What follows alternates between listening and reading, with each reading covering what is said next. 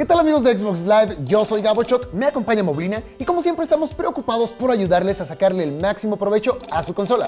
Es por eso que en esta cápsula les vamos a platicar todo lo que hay dentro del apartado de configuración en su consola. Hoy vamos a entrar a lo más profundo de su 360.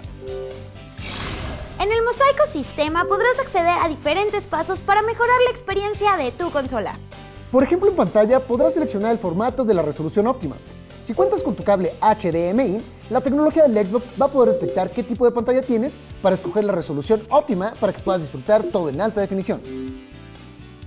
Una de las opciones que te hace la vida más fácil a la hora de descargar es el apagado automático, en donde puedes configurar tu Xbox para cuando esta descarga finalice se apague automáticamente y no se quede horas trabajando. También puedes encontrar los discos de almacenamiento o dispositivos compatibles en los que guardas toda la información de tu consola. Por ejemplo, tus perfiles, tus complementos de juego, etc. En configuración de red podrás seleccionar el tipo de conexión, ya sea alámbrica o inalámbrica de internet, en el que quieres que tu consola esté conectada. Y si tu conexión a internet está fallando, aquí es en donde podrás realizar algunas pruebas.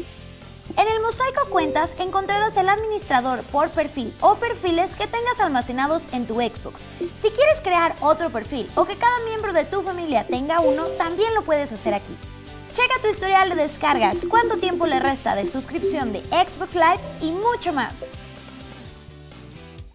En la pestaña Tu información podrás acceder a la seguridad de tu perfil o cuenta de Xbox. Cambia tu correo electrónico o contraseña que tienes registrados.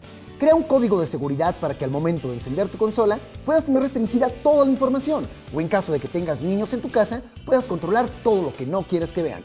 En el mosaico perfil está toda la información que compartes en el universo de Xbox Live. Por ejemplo, tu biografía, tu reputación como jugador online y el Gamer Score que has obtenido gracias a los logros en tus juegos favoritos. Y por último, en el mosaico de preferencias, puedes actualizar tu estado si te encuentras disponible para jugar con tus amigos o si estás ausente y tu consola se encuentra descargando algún juego o complemento. No se pierdan la segunda parte de esta cápsula donde les vamos a platicar todo acerca del control parental que también viene en este apartado.